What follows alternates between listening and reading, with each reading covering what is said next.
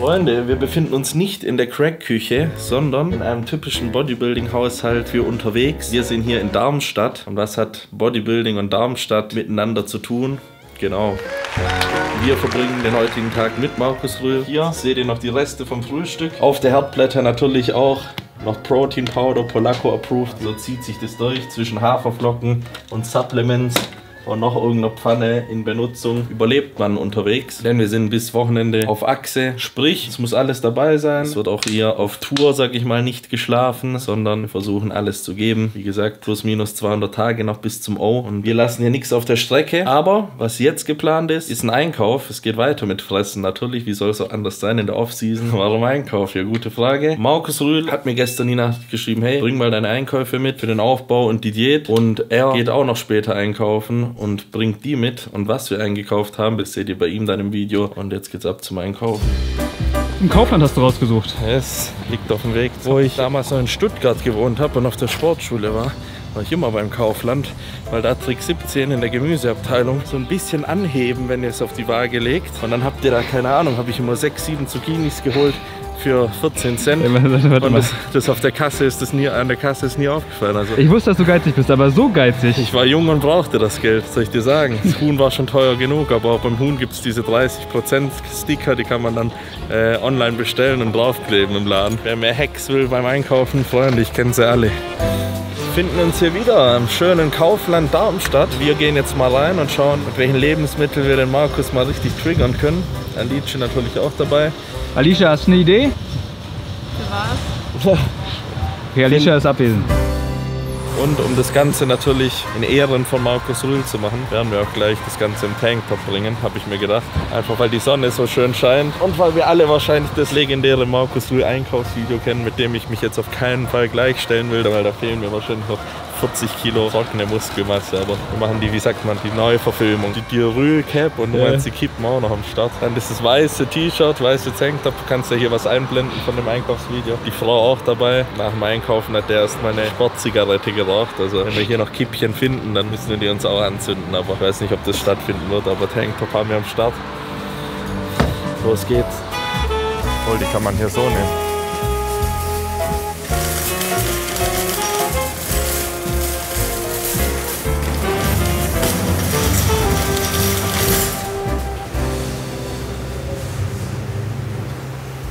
Mahlzeit. Ja. Muss ja auch mal den freundlichen Bodybuilder rauslassen, nicht immer nur den abgefuckten. Gell, Schatz? Ja, sehe ich auch so. So. Spargelze oder Tiefkühl? Nimm mal Tiefkühlgemüse. Spargel für 3,99. Solche dicken Stauden. Kann man nicht gebrauchen, aber hier Bananen. Immer gut. Aber hier können wir auch das Beispiel bringen, wie man jetzt billig Bananen einkauft. So, Freunde. Habe ich kurz mal für 20 Cent die Bananen eingekauft hier. Das sind die Hacks. Aber dafür nehmen wir für 2,30 Euro Ananasstücke. Wir wetten genau heute klappt es nicht. wir- Was denn? Dass wir nachher an der Kasse stehen und genau heute. Ach, wir sind nicht von hier. Ja, nie wiem. Co ja zrobię. Tu ist der Markus bestimmt auch Ananas. Ganz gut hier mit Verdauungsenzymen und so. So. Alice. Ja, hör mal.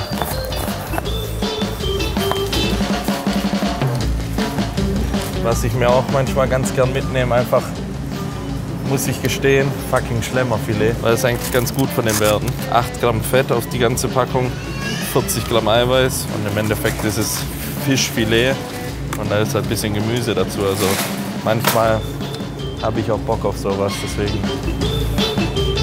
Garnelche. Oha, bekannteste Bodybuilder-Gemüse der Welt, Kaisergemüse. Habe ich gehasst und irgendwann dann lieben gelernt. Wichtig, Freunde, Gemüse essen. Gell? Tiefgefrorene Beeren. Da man gehört hat, wenn die schockgefrostet werden, sind da mehr Vitamine und so drin. Jetzt äh, haben wir genug Gemüse geholt. Jetzt brauchen wir mal ein bisschen Proteine. So viele haben ja immer Angst vor Milchprodukten. Oh, das speichert Wasser und was weiß ich. Aber ich ganz ehrlich komme darauf gut klar bis zu einer gewissen Menge. Deswegen Körniger Frischkäse kann man auf jeden Fall machen. Schmeckt geil. Zudem holen wir auch noch einen Skier. Da könnt ihr euch nämlich einen Fake-Milchreis machen, das ultimative Low-Carb-Gericht. Da nehmt ihr 500 Gramm Skier, klatscht euch den Frischkäse hier rein, mischt ihr das, macht noch ein bisschen Juicy Plus oder ein bisschen Final Protein Milky Chocolate rein. Dann habt ihr so eine fette Proteinbombe, bestehend eigentlich nur aus Protein und äh, das schmeckt dann durch den körnigen Frischkäse wie so ein bisschen Milchreis. Und wenn ihr da noch Früchte reinmacht und so, gibt nichts Besseres. Bisschen Zimt drüber und dann habt ihr keine Carbs, aber ich glaube 120 Gramm Eiweiß und seid ordentlich gesättigt in der Diät.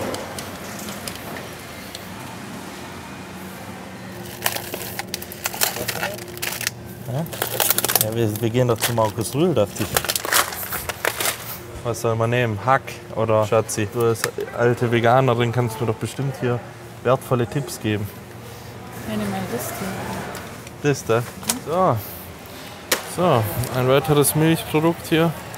Skier haben wir dabei. Wie gesagt, der Fake-Milch war das beste Leben. Nehmen wir mal einen mit. Sowas esse ich gerade gern abends vorm Schlafen gehen, weil ihr durchs Milcheiweiß auch einen gewissen Caseinanteil habt und es dann langsamer verdaulich über die Nacht schön versorgt wird. Genau, was fehlt? Kohlenhydrate. Wir sind im Aufbau, Freunde. Da müssen die Carbs reinknattern. Äh, an Carbs nehmen wir uns, oder esse ich überwiegend Reis, unter anderem auch Instant Rice Pudding. Den haben wir nicht im Kaufland da, aber nehmen wir einfach ganz normalen Reis. Jasminreis mal mitnehmen, der ist so ein bisschen luftiger. Eigentlich ist egal was, da gibt es ja auch immer die Philosophen, die sagen, ich brauche Wildreis, braunen Reis, das ist alles derselbe Rotz. Hauptsache rein damit. Den brauchen wir nicht. Nudeln esse ich generell wenig. Ja, ich verdau die nicht so gut. Aber was auch geil ist, haben wir hier. Was ich jedem Schüler, Studenten etc. empfehlen kann. 69 Cent, 500 Gramm Haferflocken. Was wir aber auch geil haben, ist, wenn wir einfach mal hier rüber schwenken. Oh, die Thunfischfilets aus der Dose. Auf die haben wir Natürlich geh weg hier im nativen Olivenöl, auch nicht im Sonnenblumenöl, im eigenen Saft und Aufguss für 1 Euro. Genau das sind die richtigen für den legendären Thunfisch-Shake, der heute zubereitet wird. Schatz, du isst auch eine Dose, oder? Ja. Mal vier Stück mit, oder? Aber auch da müsst ihr aufpassen. Zu viel aus der Dose ist bezüglich Quecksilber auch nicht so ideal. Also Das Argument wird Markus nicht gelten lassen. ja, Markus Will kennt sowas nicht. Bisschen Gewürz noch geht zum dran machen, ja. Der Löwensenf extra stark. Oder mein Favorit, der Dijon-Senf. Der ist schon ultra episch und den könnt ihr euch auf jeden Fall so als kleine Soße drüber machen. Gerade in der Diät was ganz Feines. Genau, was auch nicht fehlen darf, so eine kühle Pepsi Max aus der Dose. Das kann schon was. Davon saufe ich jetzt auch nicht zu viel. Das ist auch nicht so gut für bezüglich Verdauung. Die Frau muss natürlich die Flaschen tragen, so wie sie es gehört. Sehr schön. Wovon ich tatsächlich auch krasser Fan bin, sind so Säfte und so. Und da rote Betesaft, das ist geil. Und was ich auch absoluter Fan bin, ist Kokoswasser. Da nehmen wir auch eins mit. Denn Stichwort Hydration, Mineralstoffe und die ganzen Elektrolyte habt ihr alles im Kokoswasser mit drin. Rote Betesaft. Ich schwör's euch, trinkt mal einen halben Liter vorm Training. Ihr kriegt den Pump, Freunde, das könnt ihr nicht glauben. Rote Beete, gut fürs Herz, gut für die Durchblutung. Ja, auch sowas hilft, um die Blutwerte stabil zu halten. Und stabil wollen wir nicht nur von außen sein, sondern auch von innen.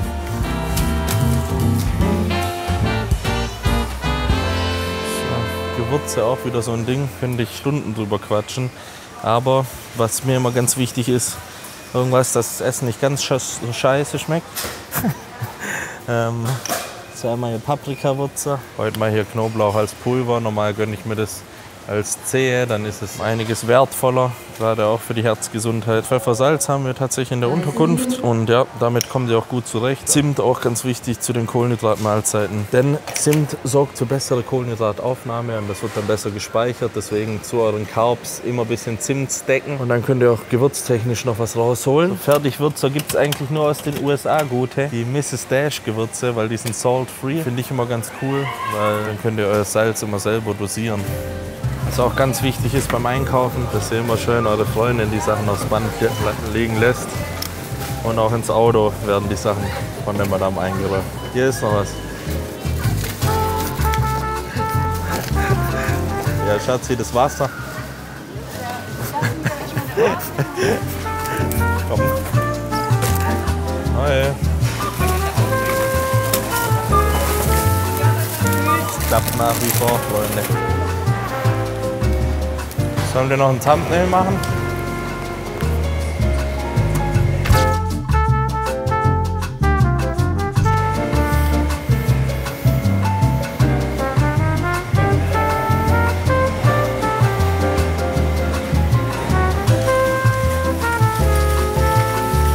Die Einkäufe werden erledigt für heute, Freunde. Wir haben alles mit eingepackt. Wir haben einige hundert Gramm an Proteinen. Dafür, damit sollten wir versorgt sein für die nächsten zwei Tage. Ähm, was genau wir mit den Einkäufen anfangen, werdet ihr bei Markus auf dem Kanal sehen. Wir packen jetzt alles ein in den Karren und los geht's. Ich muss jetzt mal. ja, Tim, komm. Ich muss jetzt mal. Ah, das war ein Dildo für meine Frau. Nee. Was auch nicht fehlen darf bei mir. Da war ich im falschen Geschäft. Scheiße. Du hast So, was, was passiert denn jetzt? Ah, Mama jetzt. Jetzt, gibt's ihn. Es gibt den legendären Markus Rühl Thunfisch Protein Shake. Ja. So sieht's aus. Jetzt machen wir noch ein bisschen Salz und Pfeffer dran. Wie oft hast du das gesoffen damals? Ja, schon oft, ne? Ja, wenn ihr es nicht fressen wollt. Schon oft, also. So sieht's aus. Wäre das auch was für deinen Ernährungsplan? Ja, tatsächlich schon, aber noch bin ich ja noch bin ich ja in dem Luxus, dass ich eher abends noch hungrig schlafen gehe, weil ich äh, ja, ich muss gar nicht so fress, so viel fressen, um aufzubauen. Also von dem her geht das ganz gut. Alicia macht gerade das Salzstreuer noch sauber. Warte mal. Müssen, müssen noch warten. Das Salzstreuer muss erst noch sauber gemacht haben. Darf ich Ihnen das Meisterwerk hier überlassen? Achtung. So, Thunfisch Proteinshake. Damals haben sie alle gemeint, der Öl hat es nicht, alles säuft da kein Mensch. Ich, ich, Damit, du ich weißt fand- schon, dass du damit ja, ja. den Legendenstatus nochmal. Ich weiß aber gar nicht, ich habe das gar nicht verstanden. Das war jetzt nicht irgendwie ein Video, wo ich dachte, oh, ich mache jetzt mal was Schlimmes. Ja. Ich habe auch gedacht, ja, ich trinke das und dann, dann zeige ich das halt. Also, das ist jetzt, ich, ich verstehe das halt auch gar nicht, warum da Leute sagen, boah, ich habe jetzt echt nicht gedacht, dass das so spektakulär ist. Oh, Ohne Mist. Also wie, ist der, rein. wie ist die genaue Zubereitung davon? Ja, zwei Dosen rein, dann Hier ist nochmal eine. ich bin da relativ schmerzfrei. Ich mache jetzt aber warmes Wasser rein und das ist die Marie. So komplett mit allem reinkippen, oder? Aber warte mal, machen wir mal ein bisschen warmes Wasser rein. Ja, ja, alles rein. Machen wir Wasser kochen ein bisschen.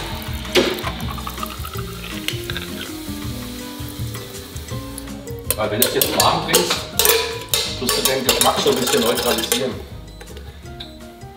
Weil das wird dann, das wird letztendlich wie eine Fischsuppe, weißt du? Das ist ja, also, das ist jetzt echt nichts Spektakuläres. So, jetzt ist hier einfach ein bisschen Salz rein. Nach Gefühl? Ich weiß nicht, ja. ne? Rühle. Markus ist schon so ein Gefühlsvoller, gell? Pfeffer nicht ganz so viel.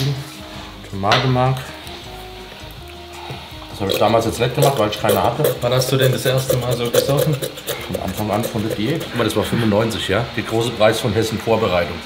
98 bin ich geboren. Ja, keine Kohle gehabt, was frisst du? Quark und Thunfisch, der ganze Tag. So, ich habe immer gegessen Thunfisch mit Tomatenstückchen ne? und so rohe Zwiebeln dazu. Und jemand hatte ich keinen Bock und da habe ich mal den, den Kollegen gesehen, der hat immer so einen Eiweißshake gemixt. Ne? Ich denke, ja, mach ich dann in meinen Mixer. Ne? Dann habe ich den Thunfisch rein, warmes Wasser drauf und gut war die Marie. Hm? Jetzt ein bisschen Wasser dazu. So, jetzt haust du die Scheiße im Mixer. Aber wir haben keinen Deckel. Deckel haben wir nicht? Nein. Ah ja, das ist mal vorher sagen müssen. Ja, aber Ja, jetzt wird es Katastrophe, können wir doch her. Nein, warte. Ne, haben wir einen Teller oder so? Ähm, Oder einen was? Teller, Brett? Weil der ist ja flach. Scheiß Vorbereitung hier. So ist das. So ist es, wenn du mit Amateuren arbeitest. Aber hier ist ein. Mal du, lieber- so ein flaches Brett vielleicht? ja, So ein Schneidebrett? Ja. da ist da eins. Bitte her. so dunkles, ne? Das ist schmal. Markus, Ne, der ist zu klein. Oder? das geht. Ja, wenn es rausspritzt, bist du schuld. Da hältst du einfach so rum. Ja, nochmal zu. Warte. Ich starte aber langsam die Maschine. Wie geht denn das? Jetzt sind wir glaube ich auch schnell hier, oder? Nee, das ist aber schnell. Ist das richtig überhaupt drin? Wenn das nicht angeht, das heißt, äh, Wo ist denn mein? Achso, mein Mixer ist nur für Eiweiß. Ne? das ist dein Mixer.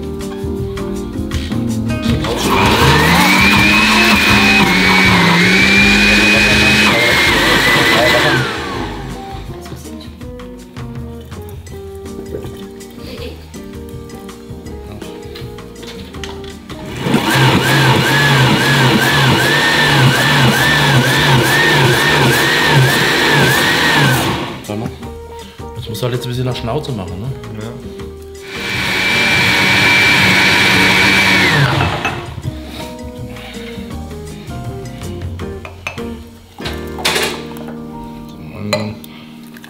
Das kannst du auch mit Hähnchen machen, ne? Das geht genauso gut. Ja. So, Schulz. Hm? Wenn jetzt mal ehrlich bist, schmeckt das gut. Alter, ohne Scheiß. Schatzi, komm mal her. Das Komm mal schmeckt her, gut. probier Ohne das. Scheiß. Komm mal her. Ey, das ist. Das schmeckt wirklich gut.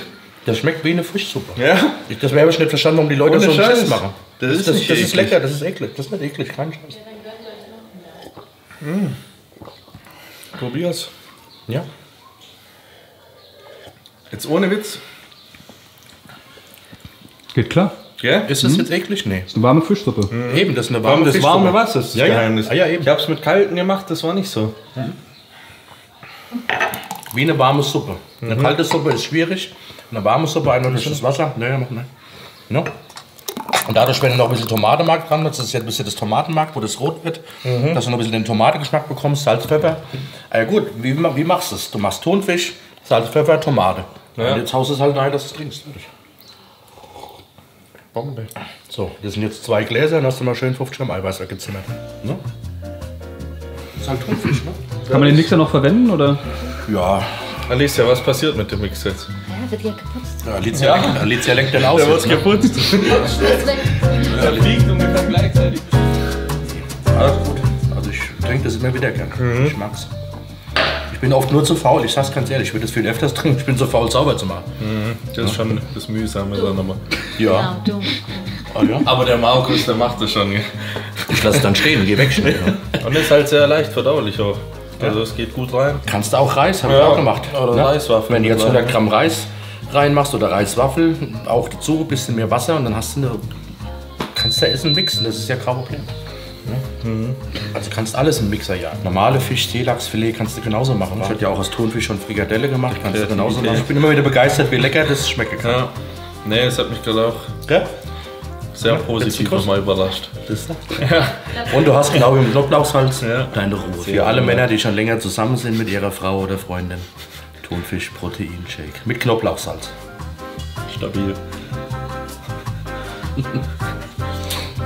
Hammer. So, das musst du jetzt alles. Viel Erfolg. Hast du. Stellst du.